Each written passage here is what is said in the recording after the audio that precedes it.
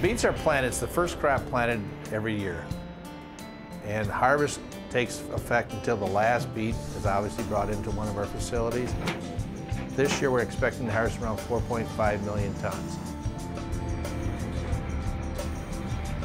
When we look at what Michigan State University can provide to Michigan Sugar Company our growers, we look at it as that level of expertise above and beyond what we can do as an industry. What makes business succeed today is innovation trying to adapt new technologies, trying to find efficiencies to reduce costs, trying to find new markets to create some new opportunities. It's like a full body contact sport. The growers and the processors and the scientists have to stay engaged. If one party disengages, the whole thing starts to fall apart. You can tell when it's working right because wonderful things happen. That's where we are in Extension. We're in that middle ground helping to translate new discoveries and innovations from science and engineering into application.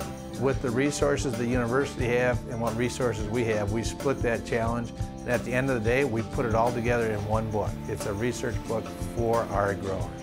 MSU is a land-grant university, and we were founded really with agriculture, engineering, home economics. Research was added later, extension was added later. All of those developments have had a huge impact on the state of Michigan and continue to have an impact on it. 25, 30 years ago, 16 and a half sugar percentage was high. Today, 18 is normal. We want to be at 19% sugar. Our yields have gone from 18, 19 ton.